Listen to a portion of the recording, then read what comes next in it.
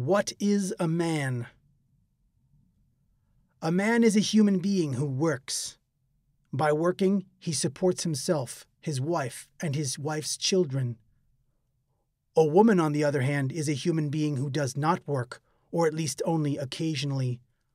Most of her life, she supports neither herself nor her children, let alone her husband. Any qualities in a man that a woman finds useful, he calls masculine.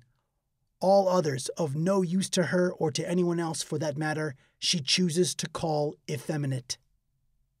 A man's appearance has to be masculine if he wants to have success with women, and that means it will have to be geared to his one and only raison d'etre work. His appearance must conform to each and every task put to him, and he must always be able to fulfill it. Except at night when the majority of men wear striped pajamas with at most two pairs of pockets, men wear a kind of uniform made of durable, stain resistant material in brown, blue, or gray. These uniforms, or suits, have up to 10 pockets in which men carry instruments and tools indispensable for their work. Since a woman does not work, her night or day clothes rarely have pockets. For social events, men are permitted to wear black, a color that shows marks and stains, since on those occasions men are less likely to dirty themselves. Moreover, the bright colors worn by women show to advantage against it. The occasional red or green evening jackets worn by men are acceptable, since, by contrast, all the real men present seem so much more masculine. The rest of a man's appearance is also adapted to his situation his hairstyle requires only 15 minutes at the barber every two or three weeks. Curls, waves, and tints are not encouraged as they might hinder his work. Men often work in the open air or spend a considerable amount of time in it, hence, complicated styles would be a nuisance. Furthermore, it is improbable that such styles would make a hit with women since, unlike men, they never judge the opposite sex from an aesthetic point of view. So most men, after one or two attempts at individuality, realize that women are indifferent to their efforts and revert to a standard style, long or short. The same is true of beards. Only oversensitive men, usually one with intellectual pretensions, who want to appear mentally tough by letting their facial hair grow indiscriminately, wear a fun beard for any length of time. It will be tolerated by women, however, for a beard is an important indication of a man's character and therefore of the way in which he might be most easily exploited. His field of work will usually be that of the neurotic intellectual. Generally, a man uses an electric razor for about three minutes every morning to keep his beard in check. For his skin, soap and water are considered good enough. All that is required is cleanliness and an absence of makeup so that everyone can see what he is like. As for his fingernails, they should be as short as possible for work.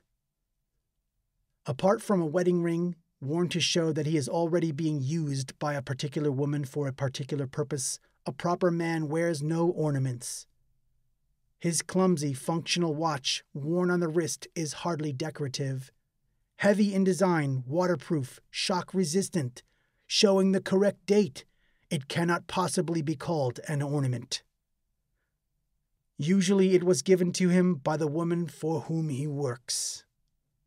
Shirts, underwear, and socks for real men are so standardized that their only difference is one of size. They can be bought in any shop without difficulty or loss of time. Only in ties is there any degree of freedom, and then a man is usually so unused to choosing that he lets his woman buy them for him. Anyone visiting this earth from another planet would think it each man's goal to look as much like the next as possible.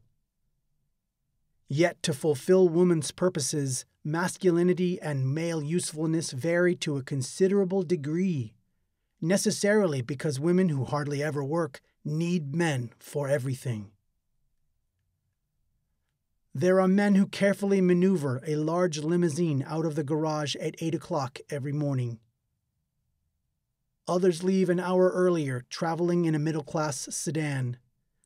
Still others leave when it is not yet light, wearing overalls and carrying lunch boxes to catch buses, subways, or trains to factories or building sites. By a trick of fate, it is always the latter, the poorest, who are exploited by the least attractive women. For, unlike women who have an eye for money, men notice only woman's external appearance. Therefore, the more desirable women in their own class are always being snatched out from under their noses by men who happen to earn more. No matter what a particular man does or how he spends his day, he has one thing in common with all other men he spends it in a degrading manner, and he himself does not gain by it. It is not his own livelihood that matters, he would have to struggle far less for that, since luxuries do not mean anything to him anyway. It is the fact that he does it for others that makes him so tremendously proud. He will undoubtedly have a photograph of his wife and children on his desk and will miss no opportunity to hand it around. No matter what a man's job may be bookkeeper, doctor, bus driver, or managing director Every moment of his life will be spent as a cog in a huge and pitiless system, a system designed to exploit him to the utmost to his dying day. It may be interesting to add up figures and make them tally, but surely not year in, year out.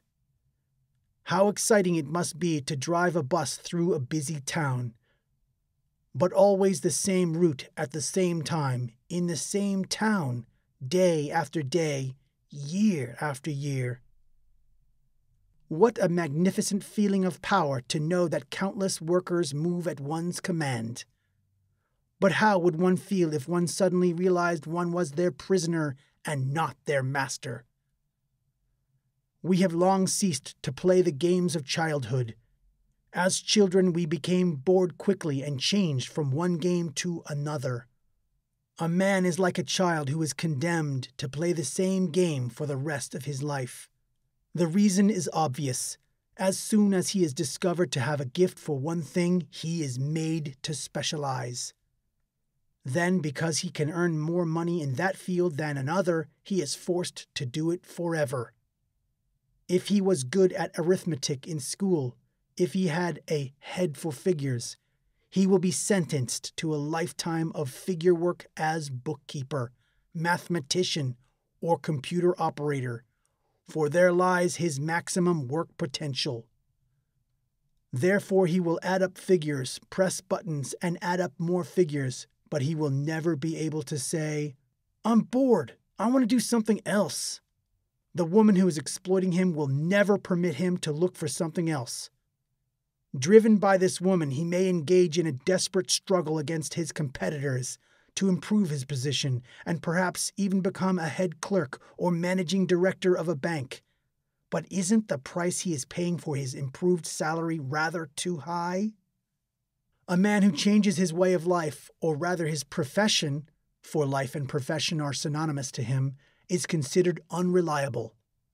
If he does it more than once, he becomes a social outcast and remains alone. The fear of being rejected by society must be considerable. Why else will a doctor, who as a child liked to observe tadpoles in jam jars, spend his life opening up nauseating growths, examining and pronouncing on human excretions? Why else does he busy himself night and day with people of such repulsiveness that everyone else is driven away? Does a pianist who as a child liked to tinkle on the piano really enjoy playing the same Chopin nocturne over and over again all his life?